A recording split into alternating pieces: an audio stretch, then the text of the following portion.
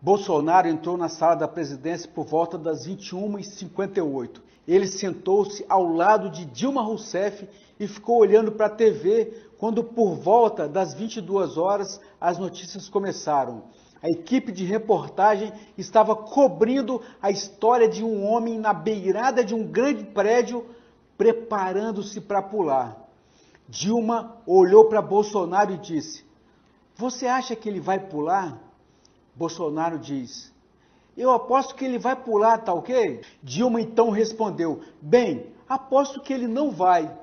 Bolsonaro colocou mil reais na mesa e disse: Tá valendo então. Assim que Dilma colocou seu dinheiro na mesa, o cara na TV mergulhou do prédio, encontrando a sua morte.